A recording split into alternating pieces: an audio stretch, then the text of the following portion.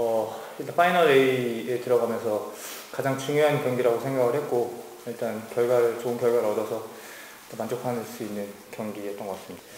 어, 제가 항상 시즌 들어갈 때나 매 지금 선수 생활하면서 공격수로 생활하면서 제가 동료들 도움으로 받아서 지금 여기까지 왔다고 생각을 하고 있고 또 올해 또한 또 친- 동료들이 이렇게 만들어줬다고 생각을 해서 제 개인적인 퍼포먼스로 했다기보다 동료들과 같이 했다라는 생각을 하고 있어서 오늘 경기도 역시나 또 동료들의 힘 얻어- 얻어가지고 좋은 결과를 이어주는 것 같습니다.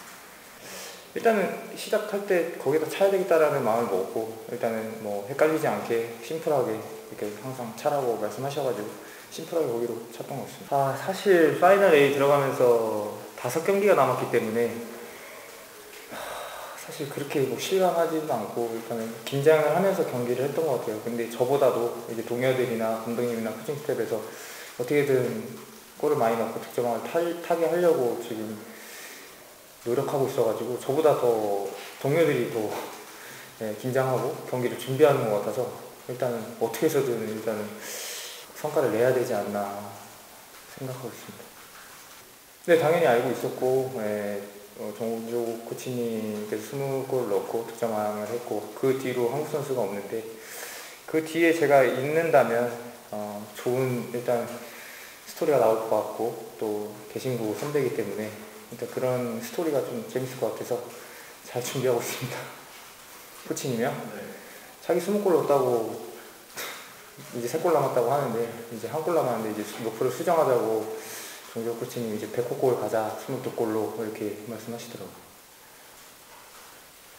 네, 다시 설정이 된 거죠. 아니 20골이었다가 이제 야 지금 4경기 남았으니까 22골로 가서 K리그 109골로 가자.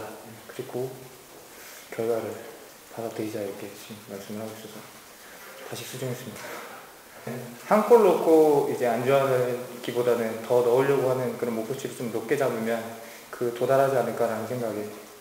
어, 초반에는 사실 저희가 어, K리그 1에 어, 올해 하면서 좀 힘들었어요. 적응하기도 힘들었고 이제 그 또한 저희 선수들도 이제 고민하고 같이 이제 일어서자라는 그 이야기도 많이 하면서 감독님께서 이제 수정하면서 이렇게 그런 것들이 힘이 조금 조금씩 쌓이다 보니까 지금 파이널에 와서는 어느 팀이랑 하든지 간에 자신이 있는 것 같아요. 뭐 일단 경기를 이기든 지든 결과를 떠나서 우리 경기를 하는 거에 대해서 되게 만족스럽게 생각을 하고 있어요.